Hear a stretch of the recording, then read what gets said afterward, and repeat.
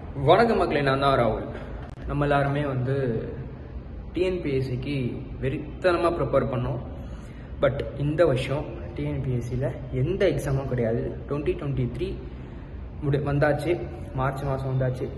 இந்த வருஷத்தில் என்ன எக்ஸாம்னு கேட்டிங்கன்னா ஒரு எக்ஸாமும் இல்லை. கரெக்டுங்களா குரூப் ஃபோரும் இல்லை. குரூப் டூவும் மெயின்ஸ் முடிஞ்சிச்சு. ஸோ மெயின்ஸ் முடிஞ்ச நீங்கள் அடுத்து என்ன பண்ணலான்னு ஒரு யோசனையில் இருப்பீங்க. நிறைய பேர் நல்லா பண்ணியிருப்பீங்க. ஒரு சில பேர் இல்லை எனக்கு கிடைக்காதுன்னு உங்களுக்கே தெரிஞ்சிருக்கும்.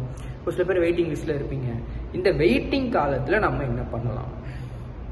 புரியுதுங்களா? ஸோ இந்த வெயிட்டிங் டைமில் நம்ம என்ன பண்ணலாம்? ரிசல்ட் நம்ம கன்ஃபார்மாக வந்துடும் நம்மளால சொல்ல முடியுமான்னு சொல்ல முடியாது. கரெக்டுங்களா ஸோ நெக்ஸ்ட் நம்மளை எதை நோக்கி நம்ம எதை நோக்கி பயணிக்கலாம்? அடுத்து நம்ம படித்ததை வச்சே வேற ஏதாவது எக்ஸாம் இருக்கா? அப்படின்னு யோசிச்சோம் அப்படின்னா இந்த கேள்விக்கான பதில் இருக்கு. அதுதான் எஸ்எஸ்சி எஸ்எஸ்சி பார்த்தீங்கன்னா இப்போ ப்ரெசென்ட்டில் இருக்க எல்லா லைவ் எக்ஸாமையும் விடுங்க. அப்ளை பண்ண டேட்லாம் முடிஞ்சிச்சு எல்லாத்தையும் விடுங்க. ஆனால் அடுத்த ஏப்ரல் மாதமே மே மாதமே உங்களுக்கு இன்னொரு நோட்டிஃபிகேஷன்ஸ் வரப்போது எஸ்எஸ்சி கேலண்டர் எடுத்து பாருங்கள் அடுத்து இந்த வருஷம் வரிசையாக எக்ஸாம்ஸ் இருக்குது ஹியூஜ் வேகன்சியில் என்னென்ன எக்ஸாம்ஸ்னு கேட்டிங்கன்னா சிஜிஎல் இருக்குது சிஜிஎல்னால் நம்ம டிஎன்பிஎஸ்சி பாஷையில் சொல்லணும்னா குரூப் ஒன் மாதிரி. அப்புறம் சிஹெச்எஸ்எல் இருக்குது நம்ம பாஷையில் சொல்லணும்னா குரூப் டூ மாதிரி. அடுத்து எம்டிஎஸ் இருக்குது நம்ம பாஷையில் சொல்லணும்னா குரூப் ஃபோர் மாதிரி. ஸோ இந்த மூணு எக்ஸாமும் இந்த வருஷம் கண்டினியூஸாக இருக்குது கன்ஃபார்மாக இருக்குது கேலண்டர் கொடுத்துட்டாங்க. எஸ்எஸ்சி கேலண்டர் கொடுத்துட்டா அந்த கேலண்டர் படி எக்ஸாம் டேட் மாறாமல் நடக்கும். ஸோ இதெல்லாம் நமக்கு தெரிஞ்ச விஷயம்தான்.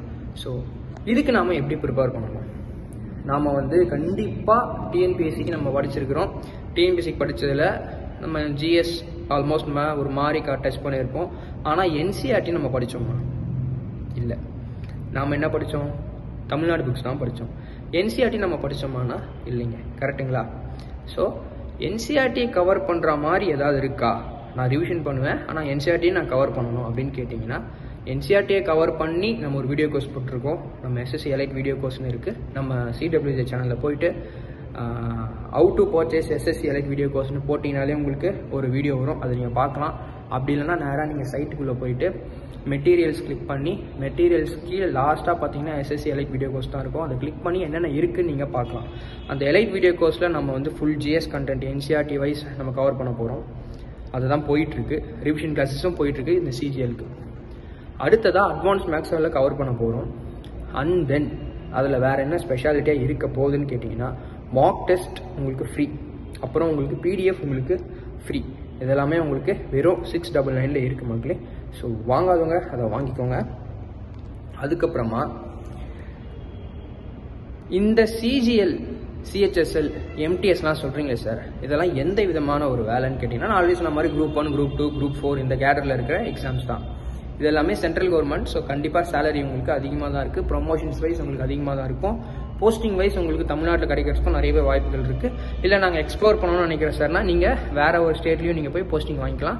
சப்போஸ் நான் தமிழ்நாட்டில் தான் சார் வேணும் அப்படின்னா நீங்கள் சப்போஸ் உங்களுக்கு வந்து டெல்லியில் எங்கே கிடைக்குதுன்னா அப்புறமா நீங்கள் ட்ரான்ஸ்ஃபரும் வாங்கிக்கலாம். புரியுதுங்களா? ஸோ இந்த மாதிரி நிறைய விஷயங்கள் இந்த எஸ்எஸ்சியில் அட்வான்டேஜாக இருக்குது நீங்கள் தாராளமாக நீங்கள் இதை பயன்படுத்திக்கலாம். முக்கியமாக இந்த குரூப் டூ குரூப் ஃபோர் எழுத நினைக்கிறாங்க முக்கியமாக குரூப் ஃபோர்லாம் எழுத நினைக்கிறவங்க இந்த எம்டிஎஸ் சிஹெச்எஸ் எல்லாம் தாராளமாக ட்ரை பண்ணலாம். டிஎன்பிஎஸ்சியை கம்பேர் பண்ணும்போது எஸ்எஸ்சியில் கொஷின்ஸ் வந்து அதே ஸ்டாண்டர்டில் தான் இருக்கும். ஸோ எந்த ஒரு புதுசாக உங்களுக்கு எதுவுமே கிடையாது. ஆனால் எஸ்எஸ்சியோட பேட்டர்ன் நான் சொல்லிடுறேன். நம்ம டிஎன்பிஎஸ்சி பேட்டர்ன் மாதிரி கிடையாது. எஸ்எஸ்சியோட பேட்டர்ன் எப்படி இருக்கும் அப்படின்னா ஒரு ஒரு எக்ஸாமுக்கு ஒரு ஒரு பேட்டர்ன் இருக்குது ஸோ காமனான பேட்டர்ன் நான் ப்ரிலிம்ஸ் லெவலில் இருக்கிற காமனான பேட்டர்ன் நான் சொல்லணும்னா உங்களுக்கு மொத்தம் நாலு செஷன் இருக்கும். என்னென்னா இங்கிலீஷு ஆப்ஸு ரீசனிங்கு ஜிஎஸ்ஸு நம்ம பார்க்குறோம் இல்லைங்களா டுவெண்ட்டி ஃபைவ் மேக்ஸ் கொஷின்ஸு அதையே இவங்க வந்து ஆப்டிடியூட் ரீசனிங் ரெண்டாக பிரித்து கேட்குறாங்க ரெண்டு செஷனாக கேட்குறாங்க ஸோ அது உங்களுக்கு கண்டிப்பாக ஈஸியாக வரும். ஸோ இங்கிலீஷ் நம்ம புதுசாக படிக்க போகிறோம் ஸோ ஜிஎஸ் என்சிஆர்டியில் இருக்கிறத நம்ம புதுசாக படிக்க போகிறோம் இது எதுவுமே நம்ம வந்து எங்கேயோ ரொம்ப கஷ்டமான விஷயம்லாம் கிடையாது. ஸோ நம்ம குரூப் டூ மெயின்ஸ் எழுதியிருக்கோம் இல்லை குரூப் டூ ஃபெயில் ஆகிருக்கோம் குரூப் ஃபோர் ஃபெயில் ஆகிட்டோம் இல்லை குரூப் ஃபோர் ரிசல்ட்டுக்கு வெயிட் பண்ணுறோம் வருமா வராதான்னு தெரியாது. கட் ஆஃப் கம்மியாயிடுச்சு. சார் நான் டிஎன்பிஎஸ்சி தான் படித்தேன் ஆனால் எதுவுமே இல்லை சார் என் கையில். இப்போது நான் ஐடியலாக உட்காந்துருக்கேன் என்ன பண்ணுறதுன்னு தெரியலன்னா நீங்கள் தாராளமாக இதுக்கு ப்ரிப்பேர் பண்ணலாம் மக்களே. இதுக்கான கைடன்ஸ் ப்ரோக்ராம்னு நான் இன்னைக்கு இன்னைக்கு நாளைக்கு காலையில் பத்து மணிக்கு தெளிவான வீடியோவாக நான் ப்ரீஃபான வீடியோவாக இதுக்கு போடுறேன். இது யார் யாரெல்லாம் இன்ட்ரெஸ்ட்டாக இருக்கீங்கன்னு எனக்கு தெரியணும்.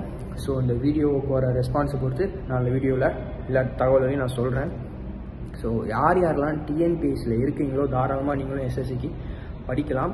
படிக்க முடியும் வேலையும் வாங்க முடியும். புரியுதுங்களா? ஸோ டிஎன்பிஎஸ்சியில் இருக்கிற மாதிரி எஸ்எஸ்சியில் பெரிய ரிசர்வேஷன்ஸ்லாம் கிடையாது. இந்த உமன்ஸ்க்கு இந்த ரிசர்வேஷன் அதெல்லாம் கிடையாது. ஸோ அதில் வந்து ஜாப் வாங்குறது ஈஸி ஃபார் பாய்ஸ் முக்கியமாக டிஎன்பிஎஸ்சியில் தான் பசங்களுக்கு வேலை வாங்குறது கஷ்டம்.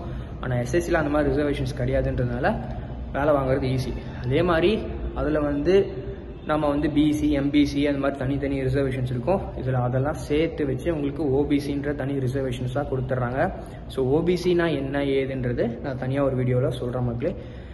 ஸோ இதுதான்.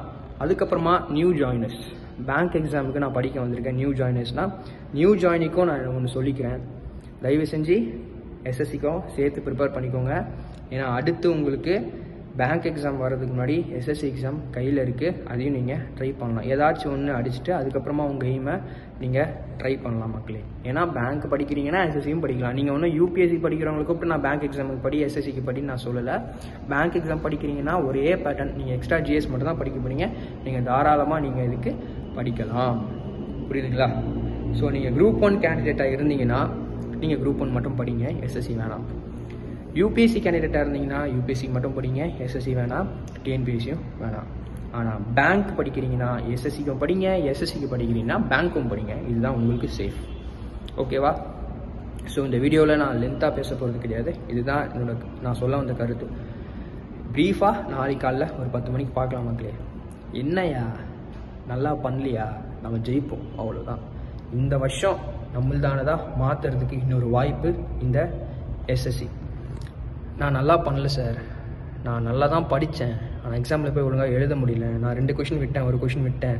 இட்ஸ் ஓகேயா பார்த்துக்கலாம் சார் நான் நான் நல்லா தான் சார் படித்தேன் குரூப் ஃபோர் மிஸ் ஆகிடுச்சு சார் குரூப் ஒன் நல்லா தான் சார் பண்ணியிருக்கேன். பட் கட் ஆஃப் எவ்வளோ வரும்னு தெரில கொஞ்சம் பயமாக தான் சார் இருக்குது இட்ஸ் ஓகேயா பார்த்துக்கலாம் ஒன்றும் பிரச்சனை கிடையாது. எப்போவுமே ஒன்று சொல்கிறேன் கான்ஃபிடெண்ட்டாக விட்டுறாதீங்க. நம்ம இப்போ என்ன ஒன்றா பண்ணிகிட்டு இருக்கலாம். ஆனால் நமக்கான பாதை நமக்கான ஒரு எய்ம் நமக்கான ஒரு இடம்ன்றது பெருசு தொலைதூரத்தில் இருக்குது அதை அச்சீவ் பண்ணுறதுக்கான நிறைய வழிகள் நம்ம கண் முன்னே இருக்குது அதில் அந்த வழிகளை நம்ம பயணிக்கணும் அப்படின்னா நமக்கு தேவை கான்ஃபிடென்ஸ் இந்த கான்ஃபிடென்ஸை விட்டுட்டிங்கன்னா ரொம்ப கஷ்டம். ஸோ கான்ஃபிடென்ஸை விடாமல் தைரியமாக ப்ரிப்பேர் பண்ணுங்கள் கண்டிப்பாக முடியும் மக்களே. ஸோ நன்றி வணக்கம். ப்ரீஃபாக நாளைக்கு காலையில் ஒரு பத்து மணிக்கு போகிற வீடியோவில் உண்டு. ஸோ அதை பாருங்கள் மக்களே. ஸோ நன்றி வணக்கம். பாய் பாய் பாய் பாய் பாய் பி கான்ஃபிடென்ட்